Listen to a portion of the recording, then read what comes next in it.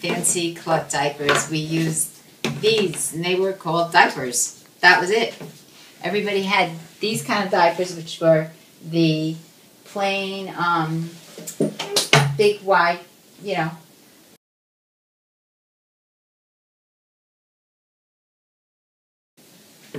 cloth diapers, or you had these pre-folds. And I had these when I had a diaper service, when I had my son. These came with the diaper service, and they still make very good dust rags. Okay, but I had these when I had my first babies. And for the newborn, you really have to fold it small. So you'd fold it like in half, like so, okay? And then you have to fold it in half again to make it the right size for the baby. And then you have to go like this, like three. You fold it in half and in half again, two. And for the boy baby, the big thick side went in the front. The girl baby, because the way they pee, um, you have to put it here in the back. So this is a girl baby, all right? So go like this, and you just do this, and now you had an undershirt also on the baby. Now the undershirt also got, whoops, my pins. The undershirt also got pinned onto the the diaper. This way, the diaper wouldn't fall down. The undershirt pretty much hold the diaper on if the baby was squirmy and, you know, the undershirt basically held. So you'd be tab pinning it to the undershirt. All undershirts had tabs for the pins. Then, after all this was done, you would put a rubber pants on top. Now you had to make sure you had your finger in there so that you wouldn't prick your baby. You'd prick your own finger first. And I don't remember my pins being so tough, but they all, these are safety pins. Okay? Now, don't go anywhere, baby, because now we have to put on the rubber pants over the diaper.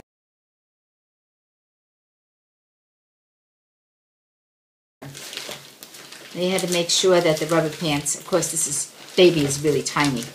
I mean, too tiny. But you had to make sure that the rubber pants fit snugly over the diaper, like so. Okay?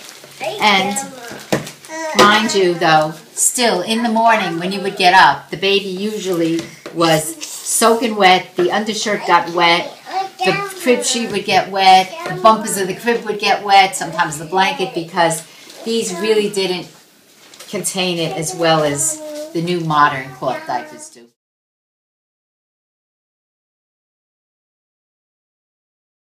I don't remember now.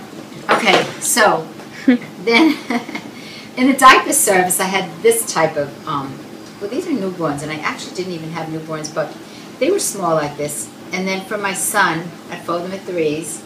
They were much easier because you didn't have to do all the other folding. And then you'd put that like that, and like so. Very easy.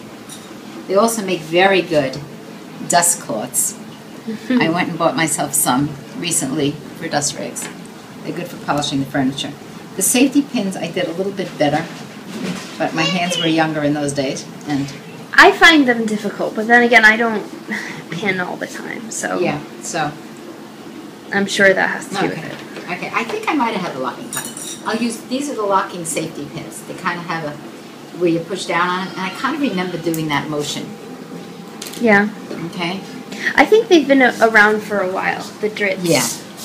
Okay, so then what you would do is you'd have, for instance, a piece of fabric from the baby's undershirt sticking down like a tab. Oh. So you'd catch this and take the tab of the undershirt also. Oh, and catch it in And with catch the it in with the safety pin like that. Well, that's really interesting. So that you'd have the diaper, I want to stick the baby, and the undershirt all pinned together. Okay?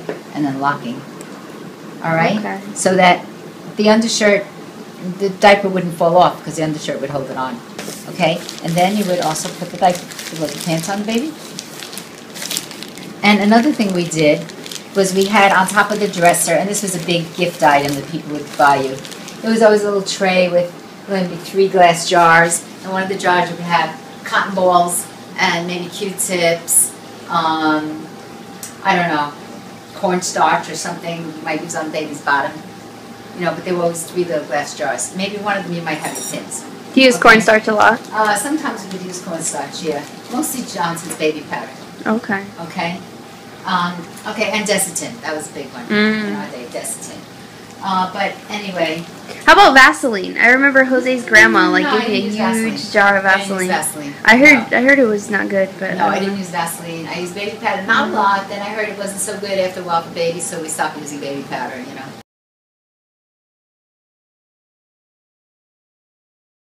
Um, oh, the care of the diapers. The baby wets. Okay, take off the rubber pants.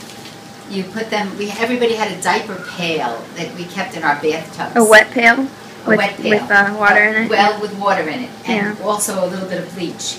I kept a Mm. little bit of Clorox and cold water, and I would take the diapers right out off the baby.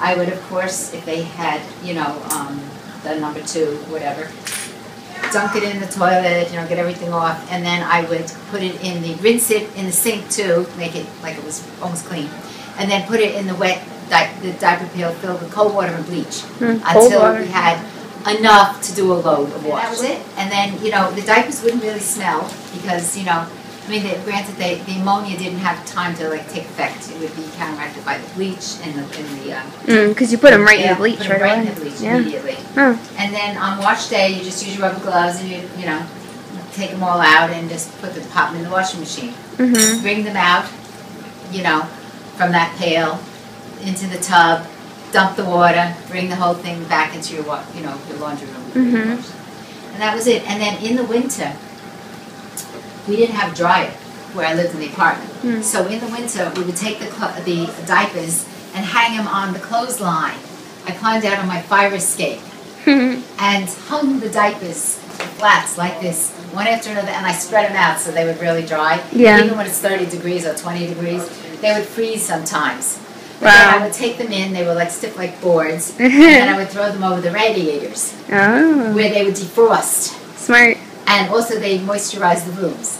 Oh, yeah. They would defrost enough and dry enough to where you could put them on babies. Yeah. So I never had a dryer. I did a lot of ironing.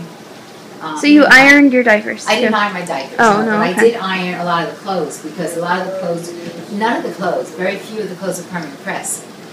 I had corduroy clothes for my girls, like overalls and dresses. Corduroy was a big thing. A corduroy fabric, yeah. And it would get all wrinkly, and I would just press that on the wrong side, but I ironed Oh almost yes. everything. Hmm. Oh wow.